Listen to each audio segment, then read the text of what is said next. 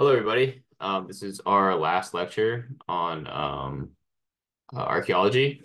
Uh, and likewise, there is a reflection due. So is that not? Okay. Yeah, so uh, the last lecture of archaeology, and every time we finish a section of anthropology, we're going to have a reflection.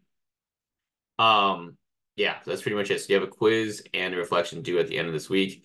Um, real quickly, though, uh, next uh, section, we're going to be starting on social culture anthropology. That's my favorite. So we will be spending a little more time um, on this than, uh, sorry, on the next section than usual. Uh, hold on, give me one second. Uh,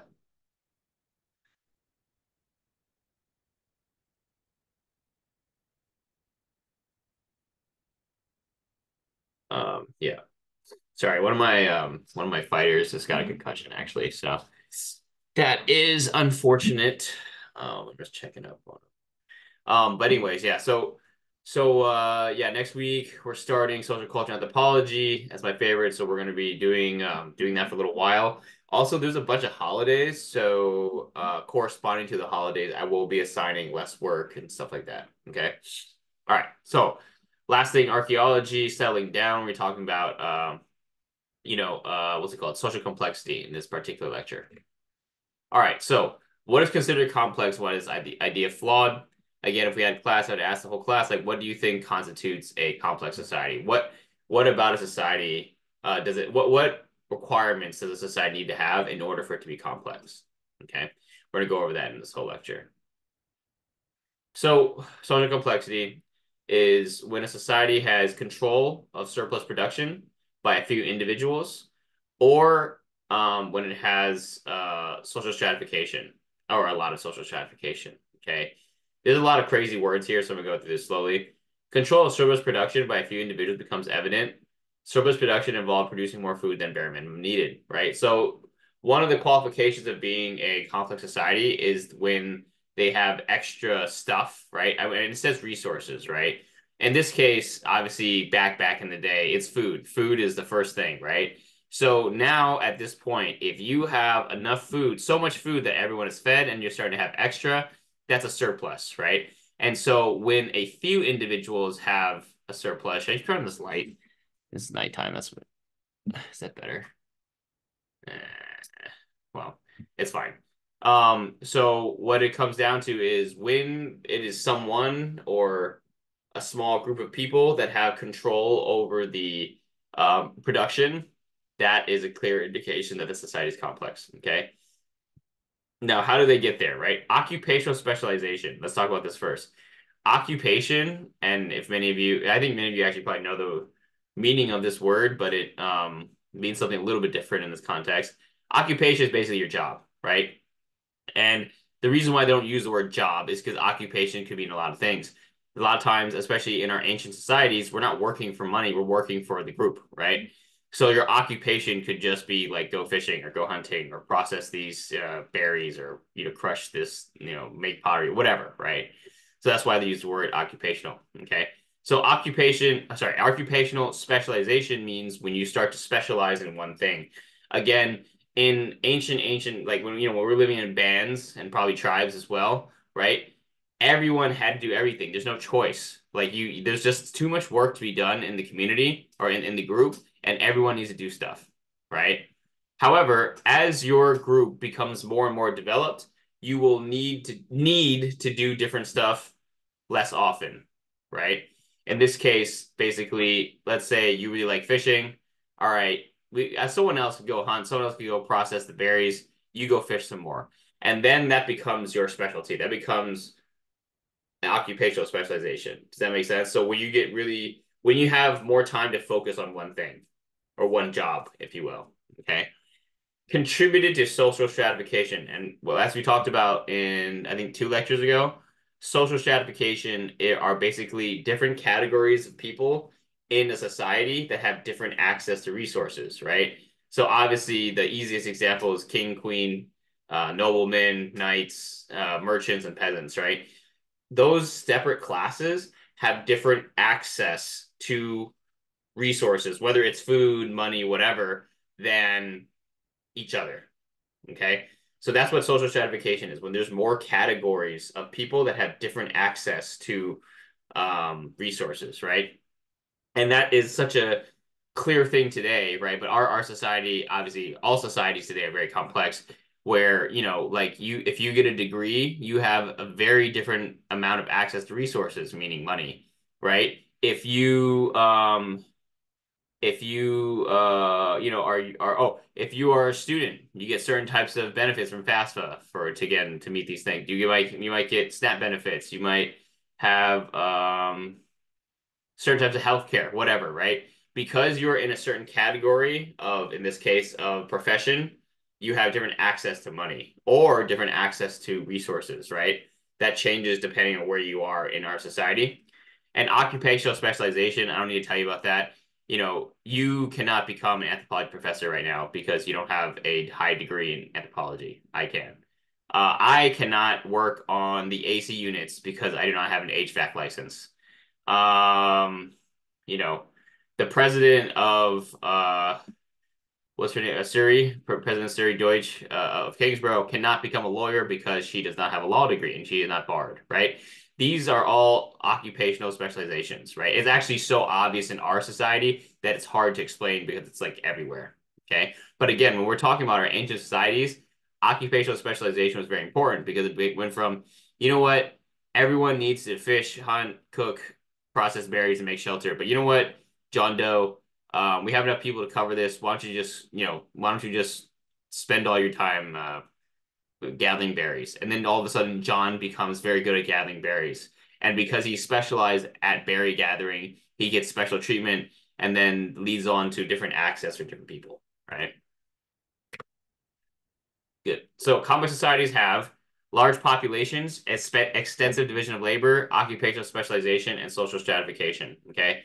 So complex societies have large populations. That's, you know, that's pretty straightforward. This is a lot of people. Extensive division of labor that just means that when they divide up the work, um, they have a lot of different criteria, right? So remember in, in the bands and tribes, it's usually, or in the bands especially, it's just based off of age and sex. But as you go grow bigger and bigger into a more complex society, you have different criteria for why this job is for you, right? For whatever that criteria might be. It might be like, you know, you're really strong, and so you, I don't know, could help me move rocks or something like that. Or you have really long legs and so you can help me swim. Whatever it is there's a different criteria for choosing um, who's doing what jobs in our uh, group okay? Occupational specialization we just talked about that job specialization and finally social stratification we also just talked about that right? So these are these four are indications that a society is complex okay within social stratification the most common uh stratification most common like way that people divide things up are classes right rank groups within hierarchy, hierarchically stratified complex societies. It's defined primarily in terms of wealth, occupation, or other economic criteria, right? And so again, the, the easy example I gave you, kings, noblemen, knights, uh, merchant, um, peasant, you know, these are all different classes that are defined you know, primarily in wealth, right? It's just about access to to money and wealth, but also other criteria, right? Like, you know, royal blood and stuff. Very good. So now we've talked about what makes a society complex, but let's talk a little bit about what we need to find in order for us as archaeologists to believe to know that a society is complex. Complex societies leave traces of the archaeological record in the archaeological record of monumental architecture, such as temples or pyramids, elaborate burials, artifact concentrations that indicate occupational specialization, regional and re regional settlement hierarchies with, with at least three levels. Okay, so the first one is pretty straightforward, right? If you have monumental architecture, if you literally are building a temple, like, or you're building a pyramid, or you're building a bridge, or you're building like you know something that's big and takes a lot of sophistication to create, it's pretty clear that you're a socially complex society elaborate burials, there's two sides to this, right? There's the physical side of it. Like again, if you we, we found the pharaoh's tomb, eh, that would be an elaborate burial. Um, obviously, there's a lot of stuff there. There's like the coffin is very elaborate. The the jewels are very elaborate. The way they made the tomb itself was very elaborate. Whatever, right? That's the physical part. But it could also be at the cultural part, right? Because if you look at a lot of cultures, what do they do with their dead? They bury them or they burn them, right? Uh, and and while the of course the Egyptians, the ancient Egyptians, they did a lot of elaborate stuff. A lot of people don't do elaborate things when they finish the process, right? So what is elaborate then is the cultural side of it, right? Maybe there's a big celebration of their life. Maybe they have to drink certain types of alcohol. Maybe they have to do certain types of dances or or say certain types of poems before they pass on. Maybe they, you know, toss their ashes into a uh, lake. Whatever. That is elaborate, right? That is also elaborate. Okay. But even though it's not physically elaborate, it's culturally very elaborate. Artifact concentrations that indicate occupational specialization. So basically artifacts that indicate that there's job specialization. What does that look like? That means like a sharper knife. That means like a rounder bowl, a um, you know, better knit clothing. Um, you know, uh yeah, whatever. Okay, that's what that looks like. And finally, regional settlement hierarchies with at least three levels. So this is basically going back to the social stratification part, at least three levels, right? So I'm gonna go back to the easiest example uh, with the with the pyramids. When you see the tombs of different people, they have a different amount of stuff depending on how prestigious they were, right? Obviously, a pharaoh or someone of you know in, in in the government or whatever, they have a lot of jewels, they have a lot of stuff, they have they have like cat or the what's it called, a lot of statues near them, very clearly, you know, royalty. Maybe a merchant might not have as big of a tomb, might have less statues, has a few jewels, not too much, and a more basic coffin. And finally, maybe a peasant who has nothing there. It's just a coffin. That's it, right? That is clearly illustrative of three different um, classes. And so that would be considered uh, a complex society, right? So basically anything that indicates that there were different classes, okay? Um, obviously, that last one is a little bit more difficult to see. Um, Development of complex societies. So explanations for the rise of complex societies are similar to those explaining domestication. Prime movers or single factors have been developed to explain the rise of complex societies. These are sometimes seen as applying to the rise of all complex societies across the globe. Prime movers include domestication, irrigation, population pressure, and social conflict. Okay, so domestication. Um, the, so these are sorry. So these are all different reasons why people believe, archaeologists believe, that people uh, moved into being a complex society, right? Domestication is one of the big ones, right? Domestication, which is again the control of reproduction uh, of plants of certain plants and animals, um, that supposedly gave people free time to invent complex social rules, right? So basically, everyone was fed, or everyone didn't have to hunt and stuff as much. Sorry, I shouldn't say didn't have to. They didn't have to hunt and fish and gather as much. And so that gave them extra time to develop more complex social rules. That is one theory as to how complex societies came about. Irrigation. Uh, irrigation is bringing water to a dry place, right? So irrigation needs in dry areas that, that require a complex bureaucracy to develop and manage complex canal systems so what people believe is like, oh, maybe they needed water, right? And in order to get the water to where they were, they had to think and and work together in certain ways that created a complex society. That's what another theory. The third theory, population pressure. This is pretty straightforward. Uh, growing population led to the rise of leaders to manage populations and social conflict within societies, right? So those two are the same, right? So population pressure, social conflict, those two are kind of the same, right? You kind of have to like, you know, uh, so I guess for population pressure, you can think of like, oh, we have a lot of extra corn. What do we do with the corn? We can't just give it to everybody, right? So you got to manage that stuff. Okay, that's population pressure. That's that's sorry. That's one of the theories as to why, um, you know, people, um, yeah, people just like end up becoming complex. The last one, social conflict in societies. This is this is a funny one um, when there's conflict within society and it's a big society, things go bad pretty quickly, right? Now, um, I, I'm sure many of you have gotten mad enough, right? Whereas when someone, I don't know, what's something like, like let's say you're eating lunch and someone knocks the lunch out of your hand on purpose and they like start laughing at you. You know, you're you're gonna want to kill him, right? You're gonna want to kill that person. You want to stab him. Okay, so now that's obviously not the case. You're probably not going to do that because you know that the penalty of that is, you know, you're going to go to prison or jail or whatever. Um, however, uh, in a society that's developing, um, and there's there's social conflict such as I'm growing tomatoes and this dude just stole mad tomatoes, you know, you're gonna want to freaking poke him in the eye with a freaking, you know, with a stick or something. But that's not the right way to solve the problem because if you keep on doing that with a large society, you can't, you know, it's just not gonna work out, right? And so this was another theory as to why um, people became complex. Okay. So the problem with these theories, even though they are valuable to learn, obviously that's why I'm talking about them, is that they're unicausal, meaning that they they focus on like one thing. But in reality, as most of us understand, you know, decisions that we make are it's a multiplicity of things, right? When you go out to eat, let's say, do you think about, oh, is it is this food good? That's one of the things you think about, but you also think about, is this convenient on the way to uh, from from from work? Is this convenient on the way back from school? Is this something that my uh, girlfriend or boyfriend or partner would like? Is this something that would uh, cost too much? There's a lot of things that you think about when you're just going out to eat, you know, dinner or lunch or whatever. So if we're talking about the development of complex societies, it's very clear that it needs to be more than just one reason. So Robert Carneiro's theory is multi-causal and consists of environmental circumscription, which uh, is basically there's not a lot of new land for people to use population pressure, which caused stress on the lands available, and then finally warfare arose as conflict between neighboring villages increased, right? When operating together, these factors led to the rise of state. Okay, so in Robert Carneiro's theory, these three things are the main causes, but more importantly, it's multiple things happening with each other, right? Because people are staying still, not a lot of new land, new land to, to use. Because people are staying still and probably domesticating, yeah, more food, more people, that means that in that area, there's to be less food for you to use or for, for you to eat.